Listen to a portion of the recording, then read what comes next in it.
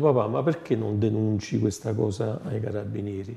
E lui mi disse un po' nervosito, dice fatti i fatti tuoi, mm, non ti preoccupare, me la vedo io, perché lui aveva paura, perché in queste zone purtroppo eh, questi clan eh, con il terrore, con le armi, eh, fanno paura. Molte persone infatti eh, subiscono questo, questo, questo racket anche negozi, tutti quanti, insomma, e hanno, avevano paura di, di parlare, anche perché non c'è come oggi, ci sono tante associazioni, eh, c'è molta pubblicità, diciamo oggi eh, lo Stato è più vicino a questi imprenditori. All'epoca non c'era tutto questo che c'è oggi. Però dobbiamo anche ricordare, noi parliamo di, sempre di Scampia come un posto brutto in un certo senso, però ecco, c'erano anche, ci sono, ci sono le persone tante, per tante bene, persone... non ci sono solo i delinquenti, no. tant'è vero che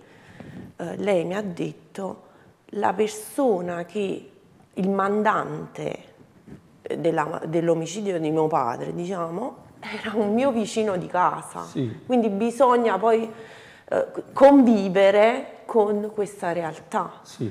Quindi arriviamo proprio al giorno fatidico in cui quindi suo padre era preoccupato, però continuava ad andare, a, avanti, ad andare avanti.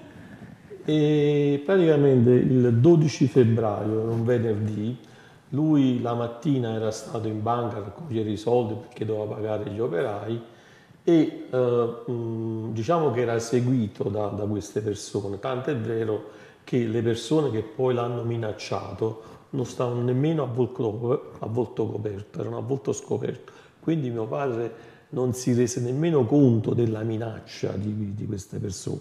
Lui eh, era andato, c'era uno sgabuzzino dove stavano facendo questi lavori e è andato nello spogliatoio di, degli operai per pagargli. Era stava, stato in stava, banca? Stava, sì, stava per andare a pagargli le, le paghe a questi operai. Se non che uno di questi ragazzi si avvicinò a mio padre e, e con sicurezza gli disse dammi i soldi che c'hai in tasca perché sapeva che c'aveva i soldi lo avevano seguito fino in banca. esattamente. Mio padre si oppose e nell'opporsi questo cacciò l'arma e sparò. Il primo colpo andò a vuoto però poi eh, rincorse mio padre. Mio padre correndo fu colpito dal secondo colpo. Alle spalle, alle spalle. Dall'altra parte ci stava mio fratello che vide mio padre sanguinante, lo mise in macchina e lo, portò, lo trasportò al pronto soccorso. Nel portarlo al pronto soccorso eh, ci stava pure un'altra persona a fianco che portava la macchina.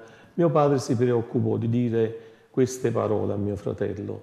Mimmo, non gli ho dato i soldi, Qua ho i soldi di tutti gli operai, mi raccomando, paga gli operai. Gli operai hanno le famiglie. Cioè, Questo uno degli no. ultimi pensieri di mio padre, prima proprio di perdere i sensi, perché poi andò in sala operatoria e morì, era quello che doveva pagare gli operai, i suoi operai, i suoi collaboratori.